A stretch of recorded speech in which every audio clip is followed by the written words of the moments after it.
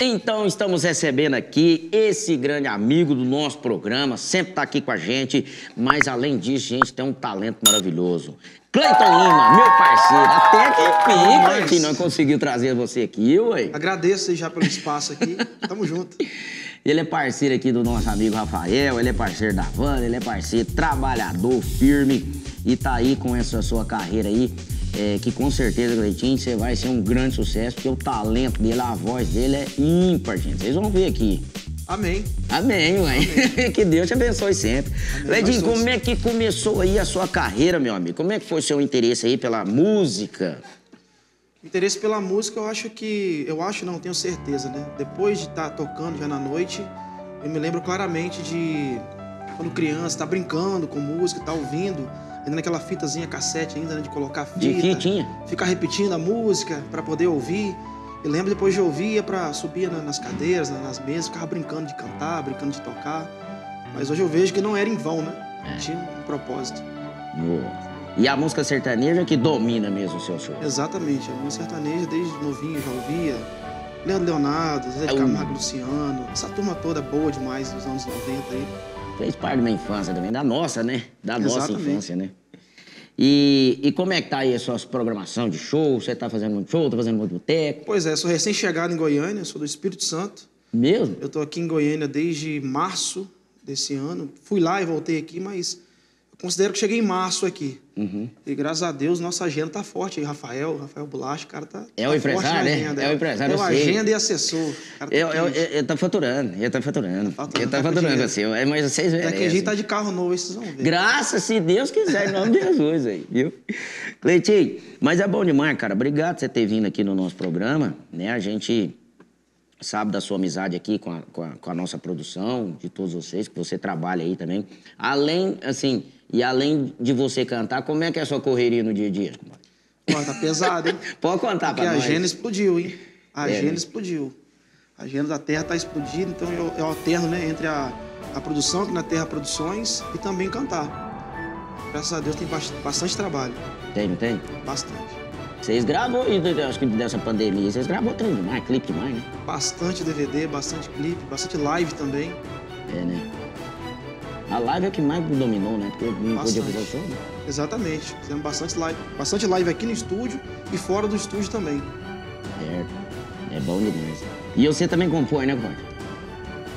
Vai beber um gole d'água Beber um gole d'água. Que é água, d'água. viu, gente? É água. Passarinho bebe. Pois é, eu componho também, graças a Deus. é, tive a felicidade de colocar algumas músicas já com, com artistas aqui de Goiânia. É, inclusive, o Matão e Monteiro gravaram um recente trabalho. Aqui mesmo com a Ah, é, que eles gravaram um DVD agora, né? gravaram um DVD. E eu tive a felicidade de colocar uma duas músicas, e uma das músicas é o título do DVD. Nós é modão, mas é moderno. Virou o título do DVD. Foi sem Mesmo? pretensão nenhuma. Eu estava justamente aqui no estúdio da Terra Produções. Certo. Liguei pro, pro Rafael, Rafael diretor aqui, O né? diretor. Liguei pro Rafael, falei, Rafael, o e Monteiro eles têm uma- um bordão que eles falam que nós é modão, mas é moderno. O que, que você acha de fazer uma música com isso? E faltava acho que dois dias pro DVD, se não estou enganado. Hum. Aí eu fiz a música, mandei pro Rafael, o Rafael não respondeu nada, mas já tinha encaminhado pro produtor musical. Como de costume, né? Não responde a gente. Não responde a gente. Três dias depois, uma semana Ele larga depois, nós na chapada. desse jeito. Aí quando ele me respondeu, o produtor já estava produzindo a música, Thiago Carvalho. Já estava produzindo a música e Conheço falou, Thiago vai entrar no Carvalho. DVD e vai ser o tema do DVD. Aí eu, fui chegar lá no DVD, pra, na gravação do DVD. Eu estava trabalhando como assistente de câmera. E quando eu cheguei, eu vi o nome lá escrito. Nós é modão, mas é Hum, moderno. da sua música. A Da música, é só sua? Só minha. Que que é isso? Que coisa boa, eu fiquei ué. muito feliz, né? E a Não é música menos, trabalho dos meninos, hein? A música que é o tema do DVD. É o tema do E nesse DVD. trabalho eu tive também a felicidade de, de ter uma música, outra música, participação do Kleber, do Kleber e Cauã. Matheus Monteiro e e Cauã. grande, artistas também. Ficou bom, graças a Deus. Como é que é o nome da música? É, a música. Ih, esqueci o nome da música. Deu branco. Que é a música demais, né? Que tem. Pois né? é, ué. A de trabalho, nós é modão, mas é moderno, que é o tema do DVD, né? E agora Do a eu esqueci mesmo o nome da música. Não, tem nada, não. Depois nós lembra. Depois nós põe nos caracteres. Pois é, ué. nos caracteres. Compadre, e como é que tá a agenda de shows aí dos botequinhos? Graças a Deus, Eu chamo bastante botequinho com todo respeito, viu, gente? O que, que é isso? Pois Os é. botecos. Porque o boteco é a escola do, do- É desse jeito. A escola do artista, né? Ali forma um artista, né? Você sabe o que tocar, sabe o que. Você sente o público, né? Você tá É. pertinho da galera, você sabe que. Olhando no olho, sabe o que ele quer ouvir, né? É. Desse jeitinho. Eu venho de uma trajetória aí dessa semana passada aí de quatro shows seguidos. É. Começamos no, Um atrás do outro. no meio da semana e temos até sábado aí agarrado. Um atrás do outro. Então faz uma moda aí pra nós, meu querido. Escolhe uma música aí pra você, Bora. pra mostrar pro nosso público. É Cleiton Lima ao vivo aqui no nosso Talk News. Moça, eu não sei falar. Uh, ia, ia. Coisas bonitas pra te conquistar. Eu tenho só uma viola,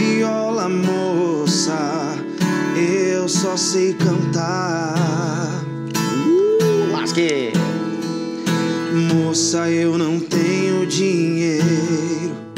Minha riqueza eu vou te contar. É o braço da viola, moça.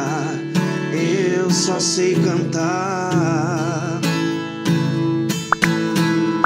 Moça, se você parar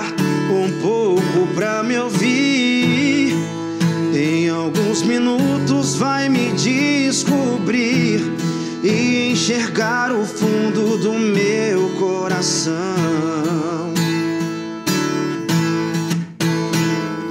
Moça, eu já sei que o papo agora é só ficar. Mas eu tô querendo é mesmo me casar. E se me achar careta, eu te peço perdão. Mas eu quero falar com seus pais, pedir a sua mão. E se você aceitar o amor de um violeiro, o seu coração vai ser meu paradeiro.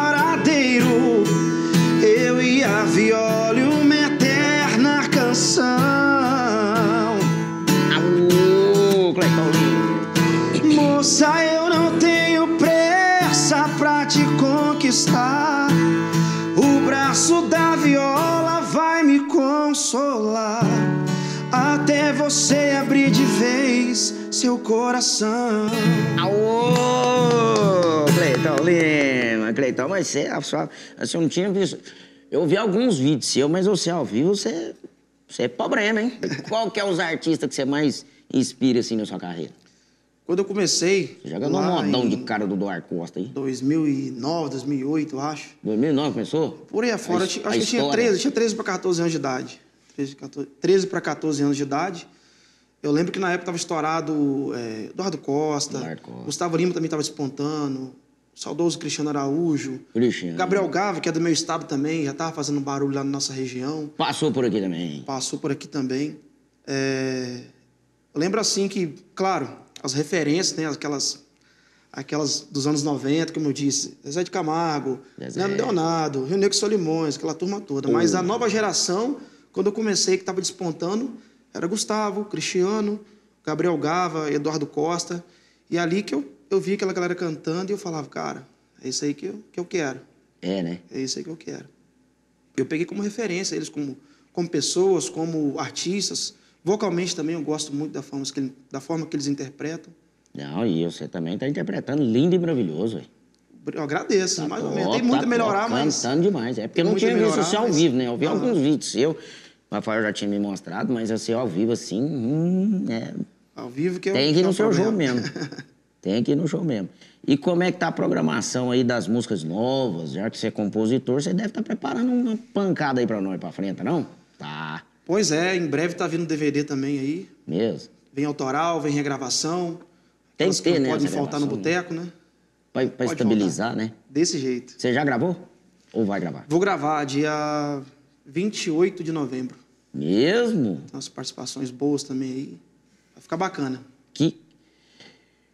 Eu fiquei sabendo aqui agora. Eu vou fazer apresentação? O que, que é isso, ué?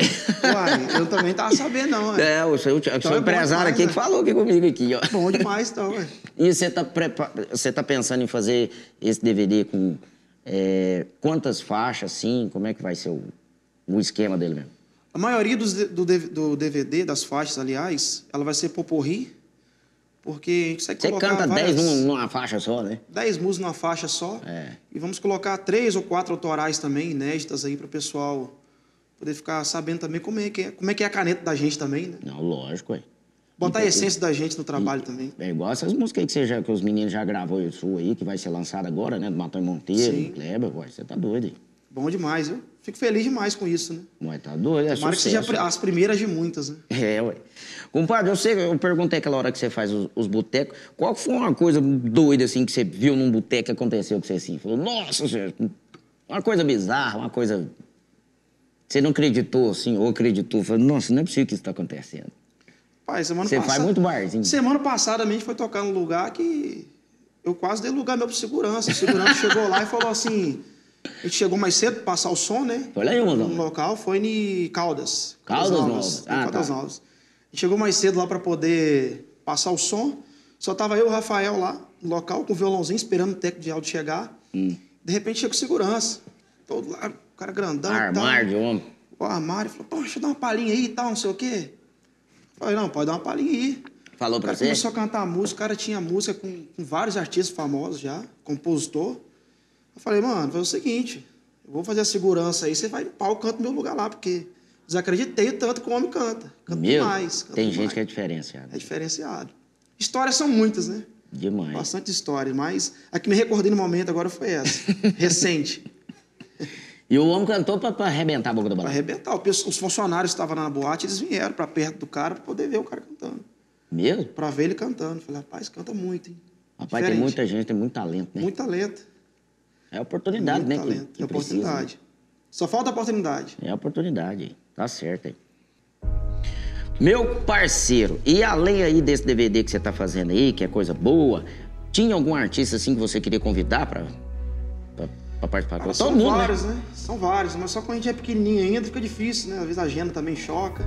Mas vai ter Fica participação. difícil, mas graças a Deus vai ter umas participações aí. Vai ter muita gente bacana. É, como citei já aqui, vai ter o Matão, o Matão e Monteiro, vão participar com a gente. Vai ter também o Elvis Zelan, grande compositor no mercado aí. Compositor do Jorge Mateus, do Henrique Juliano. Vários artistas, vai ter a Marina Fonseca também. Fica bacana demais. Não, vai ter top. top. DJ Vai. Keflin também, DJ das comitivas. É, Não posso deixar de falar dele, né? falar dele aqui. Grande, grande artista, estourado. Tá estourado no Goiás. Bombando. Bombando. Eu vejo na internet o pau tá quebrando mesmo. Não, mas vai ficar muito bom esse trabalho seu novo aí. E a gente precisa, né, de trabalhos é, igual o seu, sim, que vem com ideias novas, que vem com essa musicalidade maravilhosa aí que essa turmada da nova geração aí tá trazendo, né? Desse jeito e abre caminhos pra gente, né? Abre demais, velho. Fica, fica mais fácil um pouquinho pra gente, né? Fica, não fica? Essa nova linguagem, nova, novos roupagens de arranjos, fica mais fácil pra gente. Não, Fica vai difícil, ficar né? bom demais. Esse DVD seu aí, nós vai pipocar ele no Brasil inteiro. Vambora, vamos tomar uma esse DVD. Se Deus. Uma? Tomar uma, um caminhão de trem que nós vamos tomar, ué. Já fiquei sabendo aí que já tem um patrocínio de um shopping aí. O Mesmo? Rafael arrumou esse patrocínio aí. Né, deve ter né? arrumado, né? Ele é custoso, ele, ele Custoso. organiza as coisas. Desse jeito. Vamos tomar todos esse DVD. Nossa senhora, tá doido aí. Compadre, como é que você se sente hoje assim, realizado como artista? A gente sabe assim, claro que é, você tá num- praticamente num começo de carreira, mas você já tem aquela coisa assim, das suas realizações artísticas, assim. O que, que você me contaria sobre isso? Pois é, já tem, se eu não me engano as contas aqui, já tem quase 13 anos que eu, tô no, no- No ramo. no ramo, né? Comecei lá pequenininho, como guitarrista, segunda voz. Você cantava em igreja? Cantei igreja também. Cantou? É, foi início de tudo, né? Lá, Uma semana que tava tocando violão, a minha tia viu tocando violão, falou assim, não, vamos pra igreja, vamos pra igreja que lá você vai... Sua tia que descobriu Minha isso? tia falou assim, vamos lá pra igreja. É a Uma madrinha. semana. Ma- Tia e madrinha. É? Justamente, tia e madrinha. Mesmo? Ela me chamou, os filhos dela já faziam aula de violão, porém não estava não com muita cabeça para aquilo no momento, né? Aí eles pegaram e meio que desistiram um pouquinho né, do, do violão. Falaram, assim, ó, tem um violão lá em casa, tal, não sei o quê. Você aprende então aí que você vai tocar na igreja. Já estava com uma semana tocando. Fui tocar na igreja, com um mês eu entrei na primeira banda de forró. Primeira, primeiro mês tocando violão, com um mês estava na primeira banda de forró. Fiz, esse- fazia segunda voz e tocava guitarra. Passei do, do violão para guitarra com, por mês de prazo, assim. Igreja também é uma escola, né? Demais. E demais. lá tem que cantar de verdade. Porque né? lá, é porque lá também é o seguinte, né? Você ensaia um tom com a irmãzinha lá, né? Aí no dia ela cadê do tom? Aí você tem que se virar no braço do violão ali para poder achar o tom que a mulher cantou, né? É, É, né? desse jeito. Acaba memorizando, acaba treinando, né? Olha, você tá doido. E, e- e lá não pode pipocar, não. Pode pipocar não, é em cima e foi. É ao vivo. Não tem jeito de sair fora, não. Nossa, tá doido.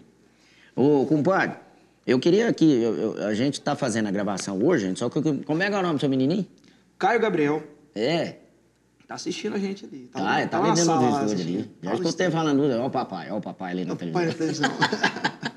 E ele vai ser cantor também. Ele é bom de memória, hein? bom de tempo. Ele canta no clique certinho, memoriza bastante música. É, Memorizou bastante música no meu DVD passado que eu fiz. É, Aprendeu filho, bastante música. filho de peixe, é os peixinhos, né? Acho que não tem outro caminho ali que eu acho que ele vai seguir a música também. Se Deus quiser. É sofrimento, mas Tá a, gente, a gente caminha primeiro aí no, no, no- no- numa faculdade primeiro aí, para depois ele. Porque aqui é sofrimento. A gente sabe que, que não é fácil a gente trilhar um caminho na música, né? Bastante É. expectativa, bastante frustração, frustração, enfim. Como é que você aprendeu a tocar violão? Então, o jeito que eu aprendi foi o seguinte: é, sempre tive vontade de aprender, e porém não tinha condições de comprar um, um violão, né? E eu resolvi, por minha conta mesmo, eu pegar e dar um jeito de aprender, né? Falei, eu tenho que aprender de qualquer jeito, Vou pedalar pra aprender. ou de um jeito ou de outro. Morava num, num cantão de um cantão assim de, como se fosse um lugar isolado mesmo, né? Só tinha nossa casa. Chegar na pista, acho que era quase uns 5 quilômetros para chegar na, na BR, assim, pra você poder pegar um acesso. Não tinha informação, não tinha internet. Naquela época, não, naquela época, né, não tão passado, mas não tinha internet assim tão acessível igual tem hoje. É, então eu falei, cara, tem que dar um jeito. E meu avô sempre queria tocar violão também, embora sabe fazer uma coisinha ou outra, não aprendeu assim de fato, né? Não foi a fundo. Ele tinha umas revistinhas com- só com música de Roberto Carlos. E Somente com música do Roberto. Ele tinha os campos harmônicos. E certo dia ele falou assim: aí, toma esse livrinho pra você aqui, que eu não vou aprender mais mesmo, e quem sabe um dia serve para você. Peguei aquelas revistinhas, levei embora para casa. Falei, cara, não tem um violão, tem que dar um jeito agora. Aí eu fui lá, cortei um pedacinho de tábua. Cortei a tábua. Eu já, já tinha noção que não sairia o som correto, mas eu fui lá mesmo assim, peguei seis linhas de anzol, Você fez o violão. Fiz um violão, peguei seis linhas de anzol, peguei seis pregos e marrei ali, naquela tábua ali. Que peguei isso, uma cara, corda, marrei boa. no pescoço. Eu olhava aquela revistinha e fazia o posicionamento. Olha só. Eu me recordo muito bem que com uma semana eu já tinha feito todos os campos harmônicos do violão, né? Maiores e menores, naturais, já tinha feito todos os campos harmônicos. Uma semana. Quando eu cheguei na casa da minha tia, o violão do meu primo estava lá, ele tinha desistido meio que da aula. Eu peguei o violão. Aí eu peguei do violão e falei, tia, eu aprendi um negocinho aqui e tal. Aí foi onde minha tia me chamou para a igreja, pra tocar na igreja. Que eu fiz os acordes, ela falou assim, canta tal hino então para mim aí. Aí eu puxava os hinos, já sabia já os, os campos harmônicos naturais, já sabia todos. Então qualquer tom que ela cantasse, para mim, tava bom. Eu sabia em qualquer tom que ela fosse. Certo. E foi dali para frente que começou. Cara, que trem interessante. Dali pra frente. Então você fez o seu violão. Fiz meu próprio violão. Vou- Até poucos anos atrás eu tinha guardado, mas depois acaba se perdendo, muita mudança, né? É. Leitinho, então você podia fazer uma música da sua autoria. Eu quero escutar uma música que você compôs Bora. Vou fazer uma que eu vou gravar no DVD. Não tem problema falar antes, não. Não, tem não. Pode... Então você já lança ela logo. Tá tudo bem entre a gente. Intensidade te assustou. Intensidade o nome dela. Notei você diferente. O seu olhar te denunciou. Não tá preparada pra seguir em frente. Você ainda lembra daquele inconsequente. Decide o que quer. Me desculpe, esse é meu jeito quando me entrego a alguém. Se quer ser minha mulher, esquece esse sujeito e se entrega a mim também. Me libera ou me coloca na sua vida.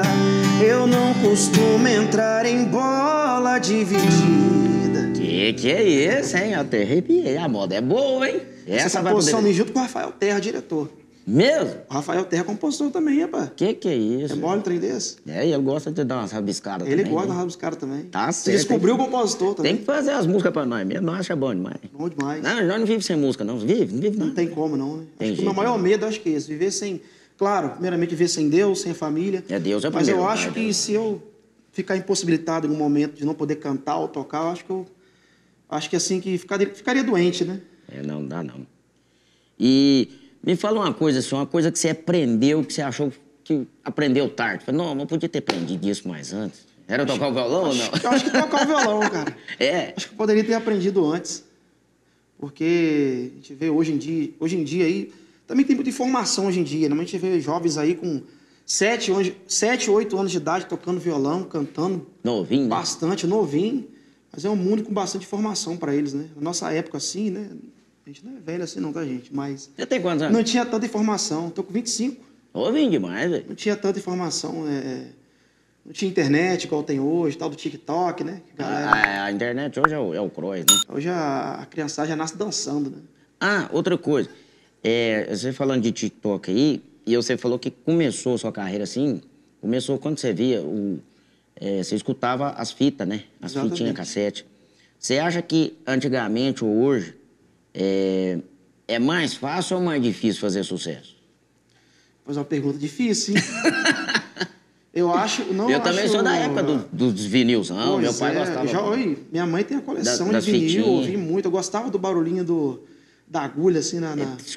Nossa, era bom demais. Quando É bom. agarrava, então, ficava agarrando naquele trem, ficava engasgado o cantor no, no disco. E quando pulava? Nossa, Fazia um barulhão, né? Mas quanto a fazer sucesso, eu acho, na minha opinião, assim, né? minha humilde opinião, eu acho que naquela época o povo, eles ficavam mais ansioso pelo o trabalho do artista, né?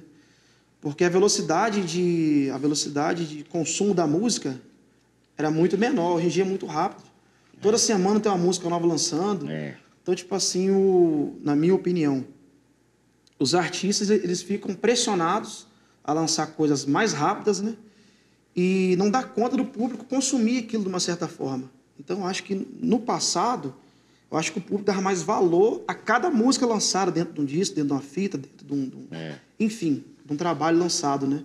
Porque era muito mais difícil, não tinha internet, era muito mais difícil. Eu acho, na minha opinião, né? Eu também. Era muito mais difícil lançar um, um trabalho. Né? Rapaz, e é música, do, todo dia sai uma música nova. Exatamente. Hoje em dia tem muito trabalho independente, assim como eu vou fazer o meu aqui. Mas naquela época era muita gravadora, né? É, a gravadora Hoje em dia você solta um trem na internet aí, você. Se pegar no gosto da galera, você explode. É. Tem vários exemplos hoje aí na internet. Tem muito. Soltou um negocinho na internet, explodiu o Brasil inteiro.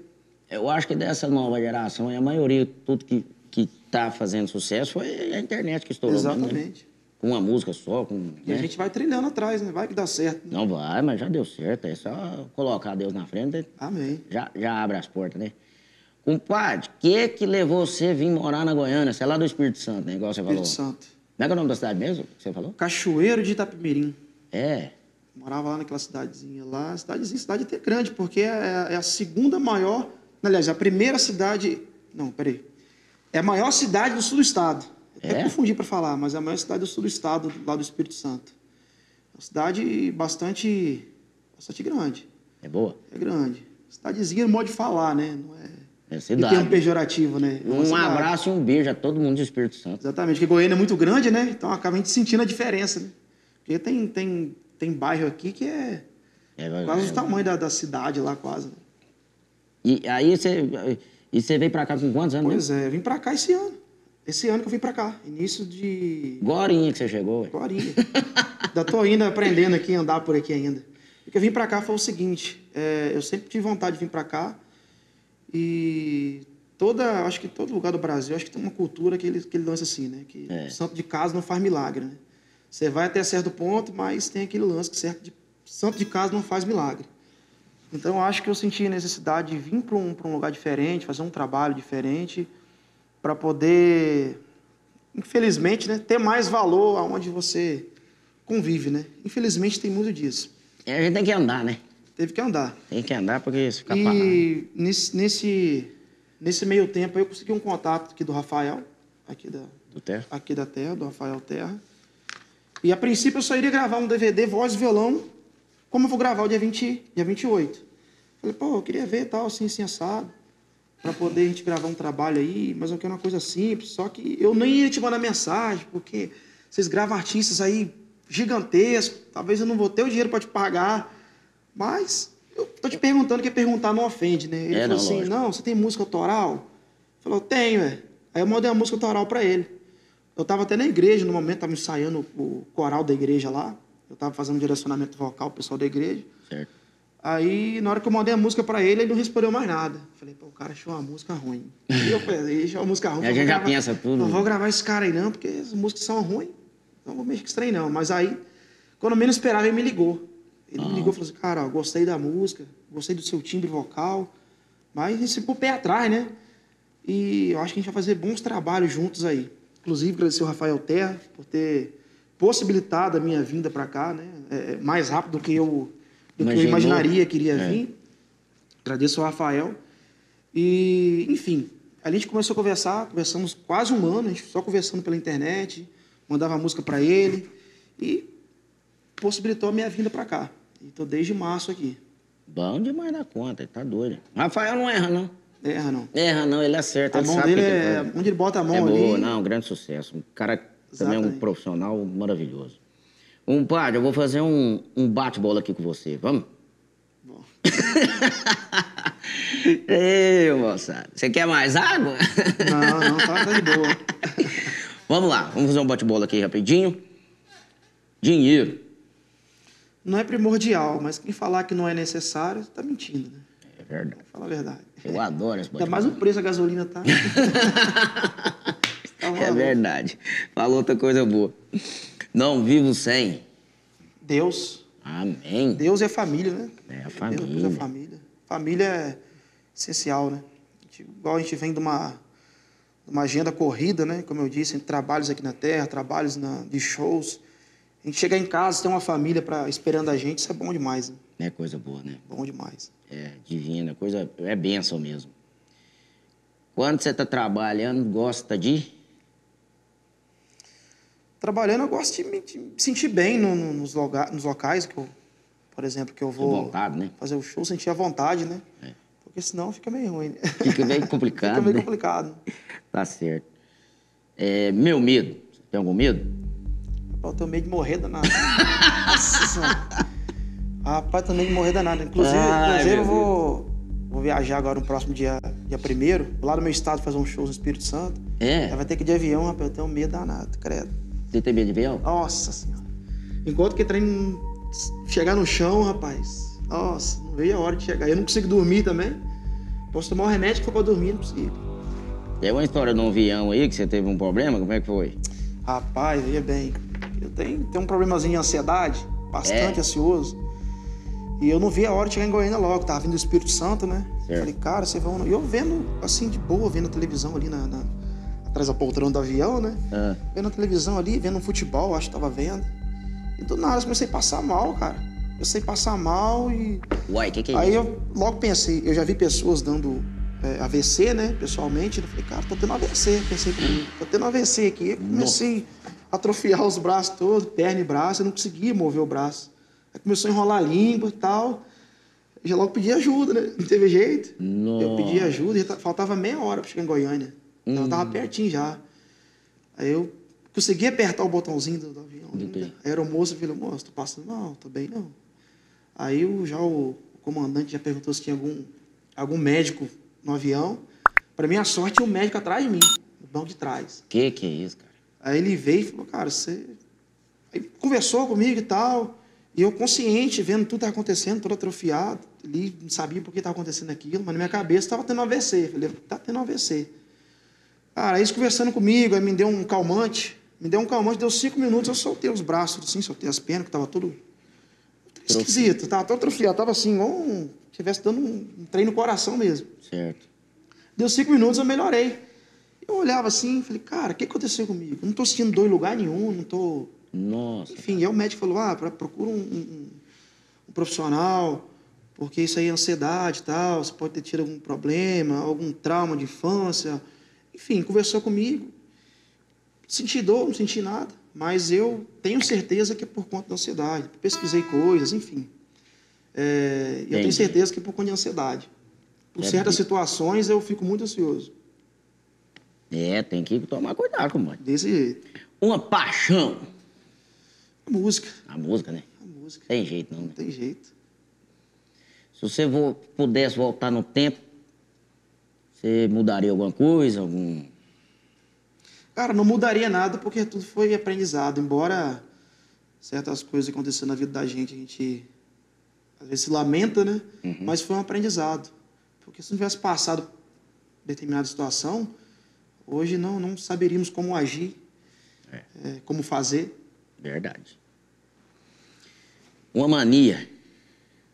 Estava comentando com você mais cedo.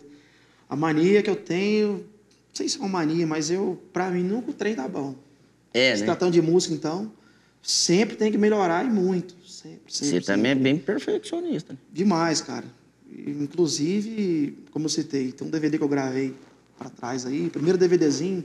DVDs. Gravei de uma forma bem, bem singela, assim, né? Bem Certo. simples.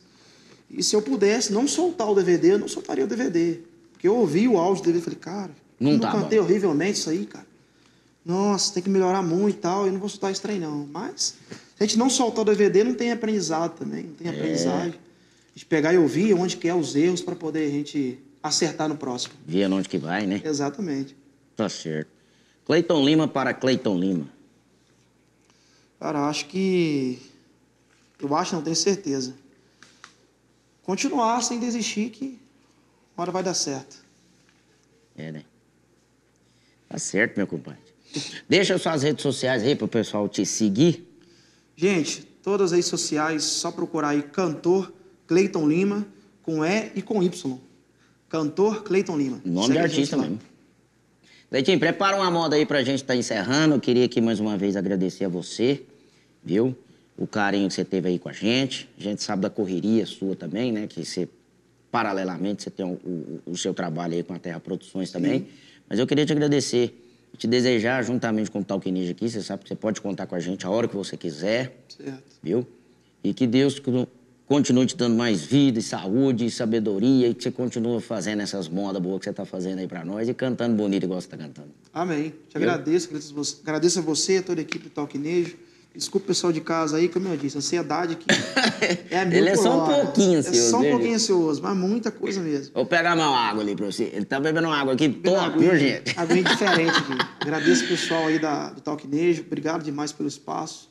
Desculpa qualquer coisa aí, gente. Não, o que, que é isso? A gente que agradece, viu? Moçada, então continue aí compartilhando, inscreva-se no nosso canal, não se esqueça. Obrigado pela, pela companhia de todos vocês aqui no nosso programa de hoje, viu? Quarta-feira que vem estaremos aqui te esperando com todo amor e carinho para você curtir o nosso programa. Toda quarta-feira estamos aqui esperando por todos vocês, tá bom? Muito obrigado, fiquem com Deus e até uma próxima oportunidade, até um próximo programa. É Talquinejo aqui hoje recebendo esse grande artista Clayton Lima. Cleitinho, faz uma moda pra gente tá encerrando. Simbora. Viu? Obrigado a todos vocês, moçada. Inscreva-se no nosso canal. Siga o Cleiton Lima. Talquinejo, toda quarta-feira aqui pra vocês. Tem um coração dividido entre a esperança e a razão. Tem um coração bem melhor que não tivera. E esse coração consegue se conter, ouvir tua voz pobre coração, sempre escravo da ternura. Quem dera ser um peixe para em teu límpido aquário mergulhar, fazer borbulhas de amor pra te encantar. Passar a noite